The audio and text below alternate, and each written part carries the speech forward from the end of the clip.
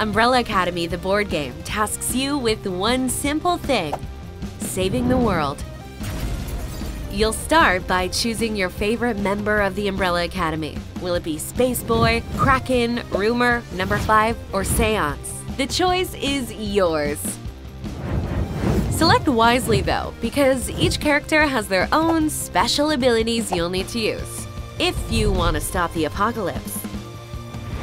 Now, choose the villain that's trying to end the world, but watch out, because they also have some tricks up their sleeves.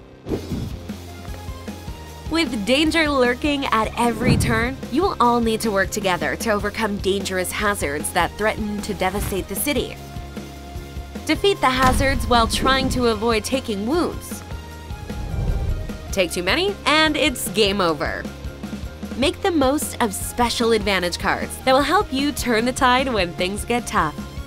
More threats appear each turn until you're ready to face the final confrontation. And as if it wasn't difficult enough, family feuds might even get in the way of you stopping the apocalypse. Try to remember to work together, even if you don't always get along.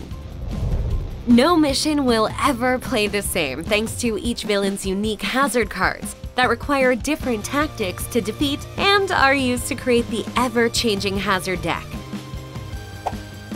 And when you've saved the world once, you can do it all over again with alternative villains and all new hazards.